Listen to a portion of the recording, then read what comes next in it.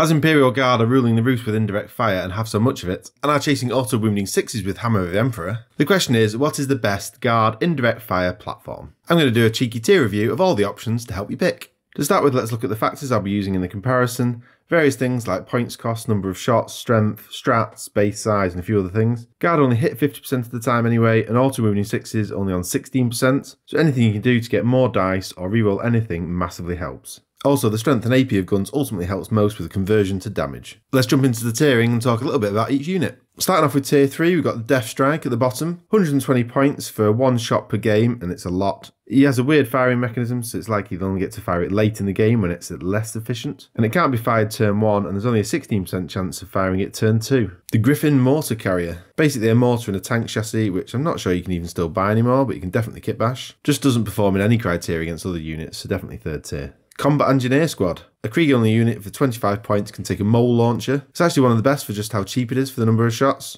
But only being 24 inches, it doesn't really score well in other measures. And if you're really seriously doing tournament play, you're probably not taking Krieg either. The Earthshaker carriage batteries and variants.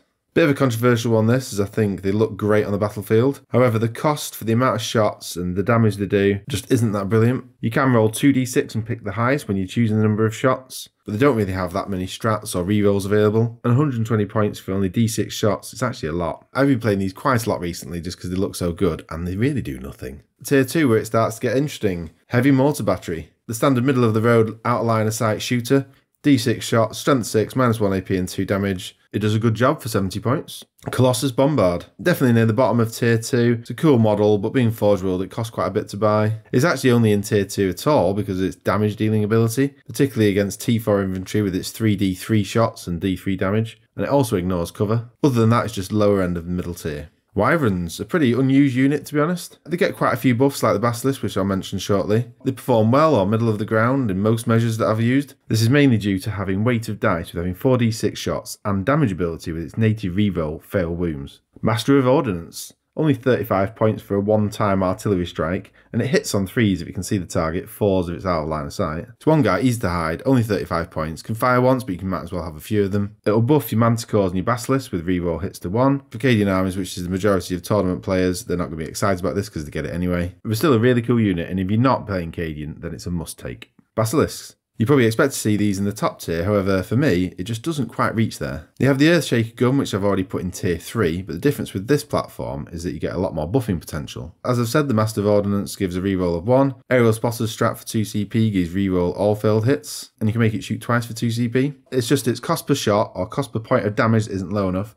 and overall damage output ability isn't quite high enough when compared to other platforms that keeps it in tier 2. The Medusa and other variants. These are top of tier 2 in my book and could have been in tier 1, its siege cannon is a beast with d6 shot, strength 10, minus 3 AP.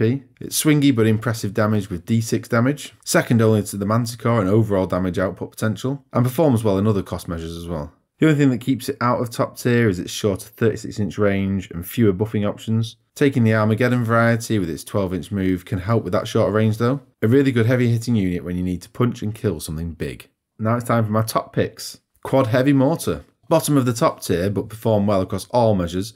4d6 shots means its weight of dice does a lot of work. Only beaten by the heavy weapon squad for the cheapness of shots. Having that amount of firepower in a single model makes quite a big difference if you think of the amount of bases you've got to place. It's easy to hide as you're going to have fewer bases that you need to deal with. Heavy weapon squad with mortars. The cheapest way of getting out of line of sight shooting, only 50 points for 3d6 shots. Only strength 4, no AP and 1 damage. It's the weight of dice you get from these that will make the difference, and auto wounding 6s are the best buff for these guys. Being infantry, you can also give them orders like take aim to reroll ones. If the Cadians and they haven't moved, then take aim actually does reroll all hits. When they get tagged, they can fall back and be ordered to still shoot. And also with the latest balanced data slate, infantry squads can bring a mortar team for free. For the points, pack loads of these in your army. The Manticores a lot of people's favourite 2d6 strength 10 shots. And while it only fires 4 times for 155 points, it still hits the top tier for value. And it's the very best in overall damage output, even against T8 units. There are some good buffs available. The ever present Master of Ordnance for reroll ones. You've got a strat that can make it hit on threes if you can see the target. And it's the main place to use your tank ace ability, as most people put full payload, which takes it to damage flat 3 instead of d3.